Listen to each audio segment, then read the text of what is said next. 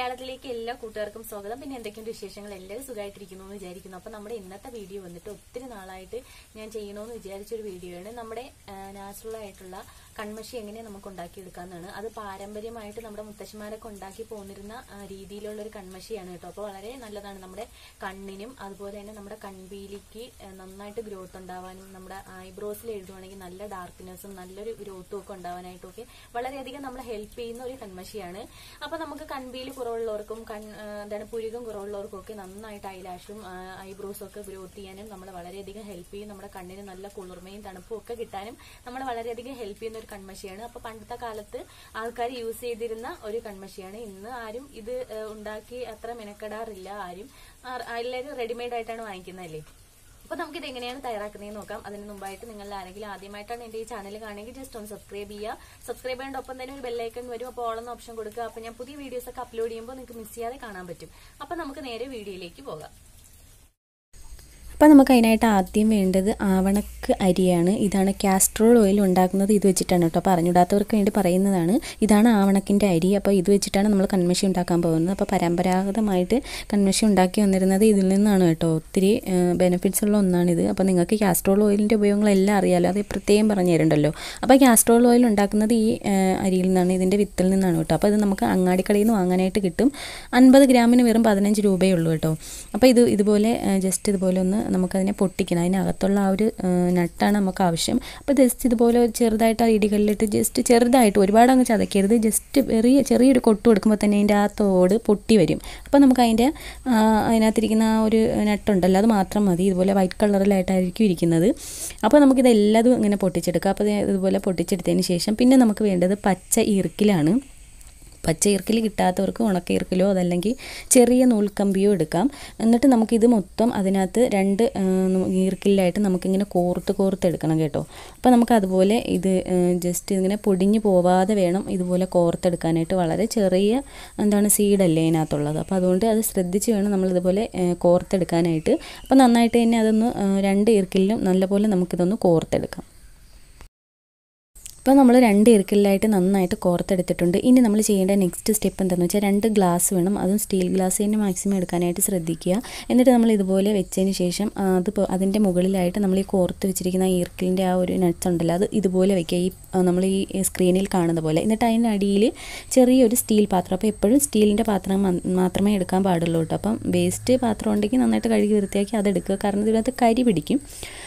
അപ്പോൾ അത് നന്നായിട്ട് ഇതുപോലെ തന്നെ എടുക്കുക. അല്ലെങ്കിൽ കഴുകി കഴിഞ്ഞാൽ പോകും കേട്ടോ. നമ്മൾ ഉപയോഗിക്കുന്ന പാത്രം ഇടുക നമ്മൾ നന്നായിട്ട് കഴുകിയാൽ മാത്രം മതി. എന്നിട്ട് അതിന് ഇതിന് നമുക്കിനി അടച്ച് വെക്കണം. അപ്പോൾ അതായത് ഇതിനെ നമ്മൾ തീ പിടിപ്പിച്ചിട്ട് അടച്ച് വെക്കുമ്പോൾ അതിൽ നിന്ന് വരുന്ന പുകയിൽ നിന്നാണ് നമ്മൾ ഈ കൺമഷി ഉണ്ടാക്കുന്നത്. അപ്പോൾ അതിനായിട്ട് നമ്മൾ ഇതുപോലെ അടച്ച് വെക്കാനായിട്ട് ഒരു പാത്രം. ഇതിൽ വരുന്ന പുക ഇതാണ് നമ്മൾ കൺമഷിക്കായിട്ട് എടുക്കുന്നത്. അപ്പോൾ അതിനായിട്ട് ഇതുപോലെ ജസ്റ്റ് ഒന്ന് ഇങ്ങനെയാണോ എന്നുള്ളത് സെറ്റ് ചെയ്ത് നോക്കുക. അടച്ച് വെച്ച് നോക്കുക. പാത്രം കറക്റ്റിന് ഇരിക്കുമോ എന്ന്. അതിനുശേഷം നമ്മൾ ഈ നട്ട്സിൽ ഒന്ന് തീ പിടിപ്പിച്ച് കൊടുക്കണം. മെഴുകുതിരിയോ അല്ലെങ്കിൽ ലാമ്പുണ്ടല്ലോ അത് വെച്ചിട്ടോ നമുക്കിതുപോലെ തീ പിടിപ്പിച്ച് കൊടുക്കാം. അപ്പോൾ രണ്ടിതിലും ഏതെങ്കിലും ഒരെണ്ണത്തിന് തീ പിടിച്ചാൽ മതി. പിന്നെ ബാക്കിയുള്ളതിന് നന്നായിട്ട് അങ്ങ് തീ പടർന്ന് പിടിച്ചോളും. അതിനുശേഷം നമ്മൾ ഇതുപോലെ അടച്ച് വെക്കുക. അപ്പം ഞാൻ ഇങ്ങനെ അടച്ച് വെച്ചു. പിന്നെ എന്റെ കൈ കയറി തട്ടിയിട്ട് അത് താഴേക്ക് പോയി. അപ്പം ഞാൻ ആ പാത്രത്തിൽ വെച്ചിട്ട് തന്നെ അത് തീ പിടിപ്പിച്ചു. നിങ്ങൾക്ക് വേണമെങ്കിൽ അങ്ങനെയും ചെയ്യാം കേട്ടോ. അപ്പോൾ എന്റെ കൈ തട്ടി താഴെ വീണതുകൊണ്ട് ഞാൻ ആ പാത്രത്തിൽ ഇട്ടിട്ട് ഇങ്ങനെ വേണമെങ്കിൽ നിങ്ങൾക്ക് ചെയ്യാം. അപ്പോൾ ഇതിൽ നിന്നും പോകുന്ന മുകളിലേക്ക് പോകുന്ന പുകയിൽ നിന്നാണ് നമുക്കത് ഉണ്ടാക്കാനായിട്ട് സാധിക്കുന്നത്. അപ്പോൾ നമുക്ക് ആ പാത്രത്തിൽ ഇങ്ങനെ തീരും. വന്ന് നിൽക്കും ആ കരി. അപ്പോൾ ഇത് കത്തി ആണ് മൊത്തത്തിൽ കത്തി അണയുന്നവരെ നമ്മൾ വെയിറ്റ് ചെയ്യുക. അതിനുശേഷം തണുത്തതിന് ശേഷം മാത്രം പാത്രം നമുക്ക് തുറ- തുറക്കാം. അപ്പോൾ ഇത് നന്നായിട്ട് തണുത്തിട്ടുണ്ട് കണ്ടില്ലേ? അപ്പോൾ നമുക്ക് നല്ല അടിപൊളി ബ്ലാക്ക് കളറിലെ കൺമഷിയാണ് കിട്ടിയിരിക്കുന്നത്. ഇത് നമുക്ക് അതിന്റെ വേസ്റ്റാണ് ഇതിൽ നിന്നുള്ള ഈ ഒരു എണ്ണ ഉണ്ടല്ലോ ഇത് നമുക്ക് ഐലാഷിലും ഐബ്രോസിലൊക്കെ പുരട്ടി കഴിഞ്ഞാൽ നമുക്ക് വളരെ നല്ലതാണ്. അപ്പോൾ നമുക്കൊരു സ്പൂൺ എടുത്തിട്ട് ഇതിനെ നന്നായിട്ട് ചുരണ്ടി എടുക്കണം എന്നിട്ട് ചെറിയൊരു ടിന്നിലേക്ക് നിങ്ങൾക്കിത് മാറ്റി വയ്ക്കാം അപ്പോൾ ഞാൻ ഓർമ്മിച്ചില്ല പിന്നെ ഞാനൊരു ബൗളിലേക്കാണ് ആദ്യം മാറ്റിയത്. അപ്പോൾ നിങ്ങൾ എപ്പോഴും ടിന്നിലേക്ക് വേണം മാറ്റി വയ്ക്കാം അടച്ച് എയർ ടൈറ്റ് ആയിട്ടുള്ള ജലാംശമൊന്നും ഇല്ലാത്തൊരു ടിന്നിലേക്ക് വേണം ഇത് ഇങ്ങനെ ചുരണ്ടി മാറ്റാനായിട്ട്. അപ്പോൾ ഞാൻ വിട്ടുപോയി കേട്ടോ. പിന്നെ ഇത് മാറ്റാൻ പാടാണ് കേട്ടോ. അപ്പോൾ അതുകൊണ്ട് നിങ്ങൾ നേരിട്ട് തന്നെ ഒരു ടിന്നിലേക്ക് നിങ്ങൾ സൂക്ഷിച്ച് വെക്കാൻ ആഗ്രഹിക്കുന്ന ടിന്നിലേക്ക് വേണം ഇത് മാറ്റാനായിട്ട്. എന്നിട്ട് നമുക്ക് ഇതിനകത്തിരിക്കുന്ന ആ ഓയിലുണ്ടല്ലോ നമുക്കിങ്ങനെ ഉരുക്കിയെടുക്കുമ്പം അതിൽ നിന്നും ഉണ്ടാകുന്ന ഒരു തരം ഓയിലുണ്ട് അത് കാസ്ട്രോൾ ഓയിലാണ് കേട്ടോ. മായമൊന്നും ചേരാത്ത നല്ല പ്യുവർ ആയിട്ടുള്ള കാസ്ട്രോൾ ഓയിലാണ് അപ്പം നമുക്ക് ഇത് ഈ ഓയിൽ വേണമെങ്കിൽ നമുക്ക് നമ്മുടെ കൺവീലിയിലും ഒക്കെ പുരട്ടാം. എന്നിട്ട് നന്നായിട്ടൊന്ന് മിക്സ് ചെയ്തെടുക്കുക ആ പൊടിയും.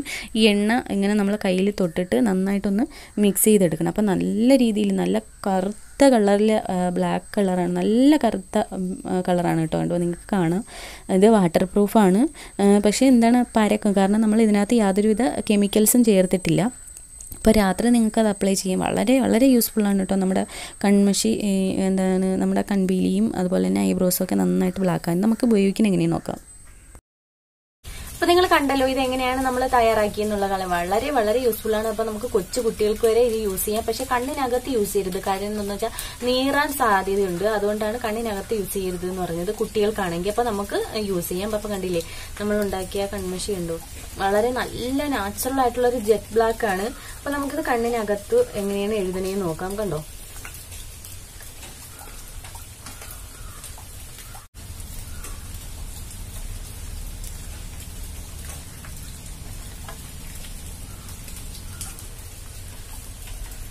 നമ്മളിത് എഴുതുമ്പോൾ ആ കണ്ണിലുള്ള നീറ്റൽ ഒരു രണ്ട് സെക്കൻഡ് നേരത്തേക്കേ ഉണ്ടാവുള്ളൂ. ഇപ്പൊ കണ്ടില്ലേ നമ്മൾ കൺമഷി എഴുതി കഴിഞ്ഞു കണ്ടോ? ഇനി നമുക്കിത് വേണമെങ്കിൽ രാത്രി ഇത് എപ്പോഴും നമ്മൾ നൈറ്റ് ടൈമിൽ എഴുതിയാൽ മതി. അപ്പൊ നമ്മുടെ കണ്ണിനെ നല്ലൊരു കുളിർമ നൽകാനും അതുപോലെ തന്നെ നമ്മുടെ കണ്ണിൽ ഉണ്ടാകുന്ന പൊടിപടലങ്ങളൊക്കെ റിമൂവ് ചെയ്യാനായിട്ട് നമ്മൾ വളരെയധികം ഹെൽപ്പ് ചെയ്യും. മാത്രമല്ല നമ്മളിത് എഴുതി കഴിയുമ്പോൾ നമ്മുടെ രാത്രിയിൽ നമുക്കിത് നമ്മുടെ പിരിയത്തും എഴുതാൻ കിട്ടും. അതായത് ഐബ്രോസിൽ എഴുതി കഴിഞ്ഞാൽ നല്ലൊരു ബ്ലാക്കും അതുപോലെ തന്നെ നന്നായിട്ട് തിക്കായിട്ട് ഐബ്രോസ് വളരാനും നമ്മളെ വളരെയധികം ഹെൽപ്പ് ചെയ്യും. അപ്പോൾ രാത്രി നിങ്ങൾക്ക് വേണമെങ്കിൽ ഇതുപോലെ കുട്ടികൾക്കൊക്കെ എഴുതി പൗഡർ ഇട്ട് സെറ്റ് ചെയ്ത് കൊടുക്കാം പരക്കാതിരിക്കാനായിട്ട്. അപ്പൊ നമ്മൾ യാതൊരുവിധ കെമിക്കൽസും ചേർത്തിട്ടില്ല. അത് നിങ്ങൾ അതുകൊണ്ട് തന്നെ ഇത് പരക്കും കേട്ടോ. പക്ഷെ വാട്ടർ പ്രൂഫാണ് അപ്പൊ നമ്മൾ ഇതുപോലെ ഐബ്രോസിൽ ഫില്ല് ചെയ്തിട്ട് കിടക്കാം. അപ്പൊ നമുക്ക് വളരെ യൂസ്ഫുൾ ആണ് നമ്മുടെ എന്താണ് ഐബ്രോസ് നന്നായിട്ട് കറക്കാനും നല്ല തിക്ക് ഐബ്രോസ് വരാനും ഒക്കെ നമ്മൾ വളരെയധികം ഹെൽപ്പ് ചെയ്യും. അതുപോലെ തന്നെ ഈ കൺമഷി നമ്മുടെ ഐലാഷസിൽ നമുക്ക് ഇതുപോലെ അപ്ലൈ ചെയ്തിട്ട് കിടക്കാം. നന്നായിട്ട് കറുത്ത ഐലാഷസ് ലഭിക്കാനും നല്ല തിക്കായിട്ടുള്ള ഐലാഷസ് ലഭിക്കാനും നമ്മൾ വളരെയധികം ഹെൽപ്പ് ചെയ്യും.